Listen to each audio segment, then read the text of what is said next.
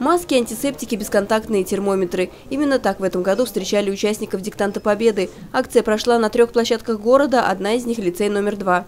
Сначала регистрация участников и вручение им в подарок памятных блокнотов, а затем интересная выставка от Центра патриотического воспитания «Набат». Все желающие ознакомились с предметами, найденными при раскопках. Осмотрел экспозицию и депутат Госдумы Николай Панков, который приехал в лицей, чтобы написать «Диктант Победы». По всей стране проходит единый диктант, диктант Победы. Уже не первый раз я участвую в нем здесь, в городе Балакова. У нас открыты на территории области много площадок, где одно из условий – это патриотическое воспитание наших детей, это история, тех военных событий, какие были в Великую Отечественную войну. Проверить свои знания в истории Великой Отечественной войны в этом году захотели несколько десятков человек. Зал лицея собрал около 50 балаковцев.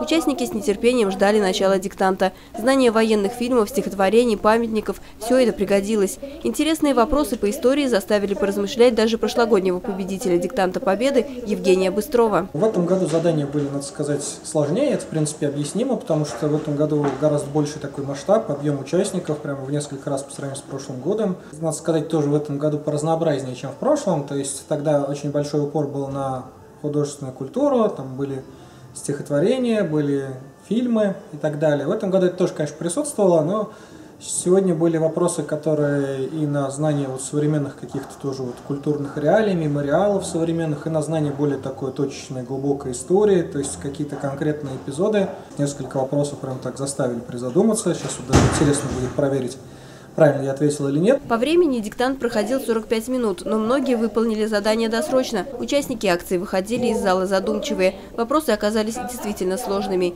И каждому теперь хотелось поскорее узнать ответы. Кто-то благодаря диктанту победы открыл для себя что-то новое, а кто-то просто проверил свои знания, ведь для участников результат не главное. Здесь не сдать на 5 да, задача. Здесь э, задача вспомнить события э, и, назовем так, э, понять, что есть еще какие-то фильмы, которые стоит посмотреть, э, да и просто знать историю своей родины, а особенно историю Великой Отечественной войны. Для балаковцев традиционная акция «Диктант Победы» стала одной из любимых. С каждым годом ее масштаб растет. По результатам диктанта выберут лучших участников акции, которые получат приглашение на Парад Победы следующего года.